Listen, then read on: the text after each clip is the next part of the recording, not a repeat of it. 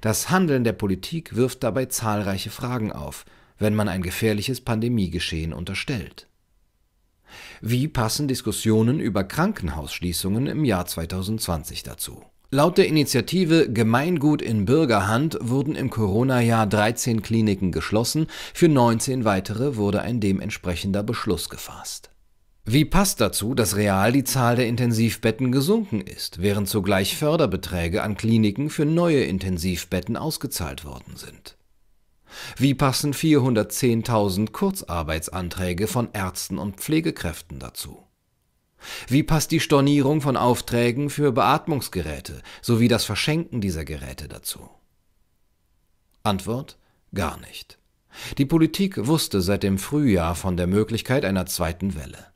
Die Absenkung der Intensivbettenkapazität sowie die Schließung von Krankenhäusern passt nicht zu einer Pandemieprophylaxe. All das macht keinen Sinn, außer man lässt den Gedanken zu, dass die epidemische Lage von nationaler Tragweite eine von der Politik herbeigeführte Notlage von nationaler Tragweite ist. Und zwar eine durch Unterlassen vorsätzlich herbeigeführte Notlage. Das Virus hat die Politik nicht unvorbereitet erwischt, wie der Bundespräsident Steinmeier behauptet. Es gab seit 2012 Notfallpläne für einen solchen Fall.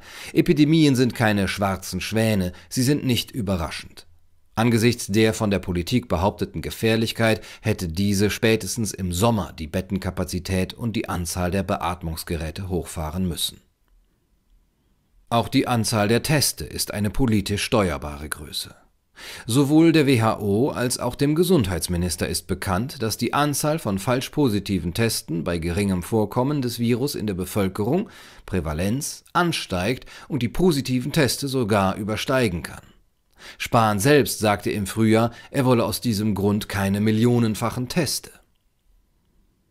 Derzeit sind wir bei mehr als 1,6 Millionen Stück pro Woche dass die Teste ohne Stichprobengrößen zudem nicht aussagekräftig sind, steht auf einem anderen Blatt. Der starre Schwellenwert.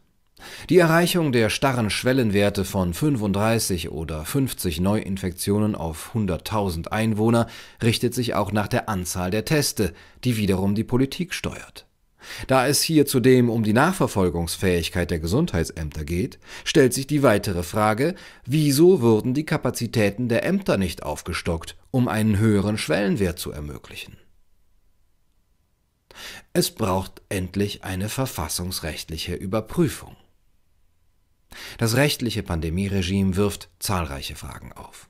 Auf dem Treibsand einer medizinischen Gefahrenlage haben wir ein in Übereile gebautes rechtliches Gebilde, das weder zur tatsächlichen Gefahrenlage passt, noch in sich schlüssig und stabil ist und zudem noch politisch dynamisch regelbar ist. Das rechtliche Pandemieregime ist aufs engste mit den medizinischen Ungereimtheiten verwoben und kann von diesen nicht abstrahiert werden. Tatbestand für die Maßnahmen sind letztlich die Anzahl der durch Teste festgestellten Neuinfektionen. Zudem lässt sich das Gesamtgeschehen wie mit einem verstellbaren Lichtschalter regeln, also je nach Bedarf herunterdimmen oder aufdrehen. Das ist zum Beispiel durch die Anzahl der Teste und die Ausstattung des Gesundheitssektors möglich. Je nachdem entsteht eine Lage, mit der sich eine Gefahr für die öffentliche Gesundheit leichter oder schwerer begründen lässt und zwar ohne Kontrolle des Bundestages, der inzwischen nicht mehr gefragt ist. Auffällig sind auch die zeitlichen Diskrepanzen. Die Politik hatte monatelang Zeit, ein Gesetz zu erlassen, um den Ausnahmezustand zu beenden. Sie tat es im Hauruck-Verfahren erst Anfang November, kurz nachdem die nächsten Lockdowns beschlossen wurden. Was jetzt nötig ist, ist die rechtliche Überprüfung dahingehend, ob eine evidenzbasiert festgestellte medizinische Situation die Verhängung des ausnahmerechtlichen Pandemieregimes stützt. Es bedarf also sowohl einer Überprüfung der faktischen Ausgangslage als auch der verfassungsrechtlichen Rechtmäßigkeit. Das Bundesverfassungsgericht darf sich nicht aus der Verantwortung stehlen, die ungenügende Aussagekraft der offiziellen Zahlen zu überprüfen und zu hinterfragen, wenn es ernst genommen werden möchte. Das bedeutet ganz konkret, Sie können gegen die Maßnahmen klagen, wenn Sie selbst konkret betroffen sind. Verwaltungsgerichte müssen bei Zweifeln an der Rechtsgrundlage von einer Anwendung des Gesetzes ablassen oder können dieses dem Bundesverfassungsgericht zur Überprüfung vorlegen. In einigen Ländern wie Bayern besteht zudem die Popularklage für jedermann vor dem ländereigenen Verfassungsgericht. Zudem sind Schadensersatzklagen auf Staatshaftung möglich, auch hierzu sind bereits Klagen in Arbeit.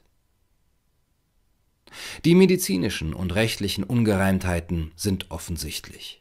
Diese werden aktuell vor allem durch ein aktives, angstbasiertes Meinungsmanagement in den Medien und von Seiten der Politik zusammengehalten. Es ist höchste Zeit, die Schweigespirale zu durchbrechen